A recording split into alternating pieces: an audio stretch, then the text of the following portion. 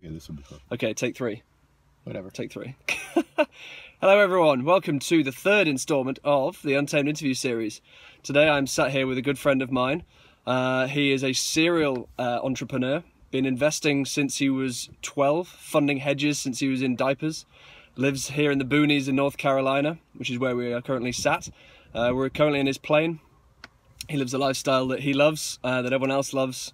Um, many men want to be him many women want to be with him. I'm glad, you, I'm glad you didn't say that the I'm other sure. way. Yeah, uh, sometimes, some people.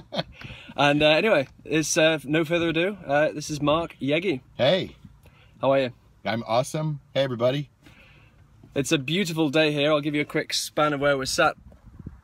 This is the uh, Andrews base in North Carolina near his house. This is the uh, Cessna 310 twin that we're currently sat in, which is not something you do every day. And I just wanted to. Uh, I've to- never done an interview on my airplane. No, this well, you're is the welcome. first. You're welcome. Yeah, thanks. Um, so I thought I'd take this opportunity to ask him a couple of questions and hopefully inspire a few of you out there. Um, and uh, yeah, hopefully you can start living the kind of lifestyle that this guy leads. Um, so, Mark, like we've touched upon already, you uh, you live a fairly epic lifestyle. You're sat in your plane at the moment. We're about to go flying around. We went kayaking yesterday. Uh, we went hiking the day before. You spent the, you spent the weekend in Chicago. Uh, you work a few hours a day um, funding hedges, and uh, yeah, you've got the freedom and the flexibility to do what you like. So, can you tell us? uh, Was there any point in your in your career or or, or lifestyle as or life as an entrepreneur where there was an inflection point where you went from being trading time for money and being busy all the time to to this lifestyle? Well, I mean, as as your whole concept is, is that we're we're we we think we buy into the fallacy that we're taught, and that's go to school, get a good degree, go to work and do a nine to five job, take your two weeks of vacation every year, and then when you're 65, you can enjoy retirement, whatever that mm-hmm. is. But the problem is, you're just waiting. It's basically a long suicide when you're 65 because you're tired. You might have some money saved up, but you don't have the energy as much anymore. And I just didn't want to do that. So there was an inflection point a few years ago where, you know, I'd seen this lifestyle, and I always want, you know, people like you are exposing this lifestyle now to to the rest of the world, and I and I wanted to to be a part of it, and I just had to make the right choices to be able to do it.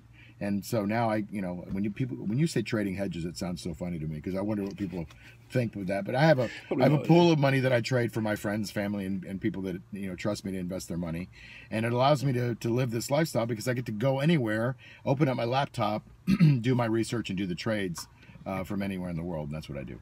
So it's fun. Fantastic. just to give it a little bit of an insight, um, just so we're not taking the piss completely. What what percentage are you up this year currently with your fund? Well, I don't like to brag about it. I mean, the main thing that we do is we protect the uh, we protect the downside. Yeah. And by protecting the downside, we have a we're having a really great year. We we, we average about forty five percent a year, but we're up about eighty four percent right now. Shit. up to the third quarter, anyway. That's fairly impressive. Thank you. So, so in your in your journey through to uh, up to this point, um, something I drone on about all the time in, in my interviews, in in a lot of the articles I write, um, is the importance of self awareness. And for my mentoring, it's the first step I take people on on this journey of, of realization from from taking them from a nine to five to to the lifestyle of financial freedom and doing whatever the, the hell they like. Um, what part did uh, self awareness play with your in your journey, and how how much emphasis do you put on it? Well, eh, you know, it's all an evolution. So there's nothing really in my life that would change because it's all led me to this exact point. No regrets. But you have to recognize what your strengths and weaknesses are. And I'm a big believer in you build on your strengths. You don't try to improve your weaknesses. Yeah. So you take you take what you're good at and you basically either get rid of or delegate what you're not good at. And um, and then you can just kind of it, then it's like all fun. I don't even call it work. I mean, I I get to uh, I get to trade in the market and I get to get paid for that. And spend time with me. And I get to hang out which with cool people like you. which is under underestimated. Totally. Yeah. I, I should be paying you. So you did the profile test, the Yeah, the, yeah. the talent dynamics profile test. What what profile were you? I'm a creator. Okay, so would you like to tell the uh, tell the audience um, the, the quick outline of what a creator is and how you've how you align your business around that and what your strengths and weaknesses are? Yeah, basically in creators, it's fairly obvious. It's what it sounds like. It's people that take, they're really good at starting stuff, visualizing things, doing things at a high level. Uh, may not be the best at finishing stuff, sewing the sewing the sutures back shut after the surgery, kind of thing. So, um, so you need people around you, uh, accumulators, supporters, those other roles that uh, that take place to support you, so you can. It, it, nobody does it alone, right?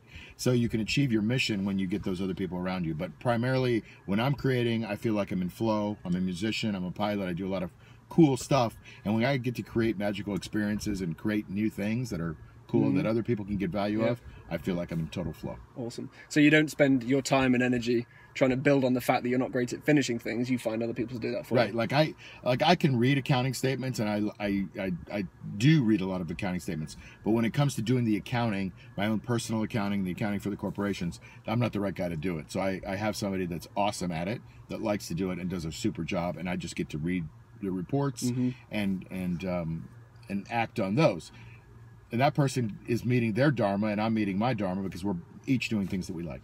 And and in saying that, what what that means is that not every entrepreneur is a creator type out there. Right. Not every entrepreneur has to come up with 100 ideas a day. There's there's there's a role for everyone. So so that person does your accounts. They could be an entrepreneur. They they, are. they love the details and they rely on the fact that there's people like you and me out there who hate the details. And and we underestimate that because Mm. we think that if if you're not like us it's maybe a different thing that oh it's too bad that they don't have the the creator mentality but it's not all creators that are entrepreneurs i mean steve jobs was a creator but the guy that's running it now tim cook is not a creator he was the account he was the cfo he was the accountant person and he's doing a phenomenal job running apple but they haven't created anything since. but they don't create anything left, anymore yeah. yeah. they just keep making iphones yeah, Yeah, exactly.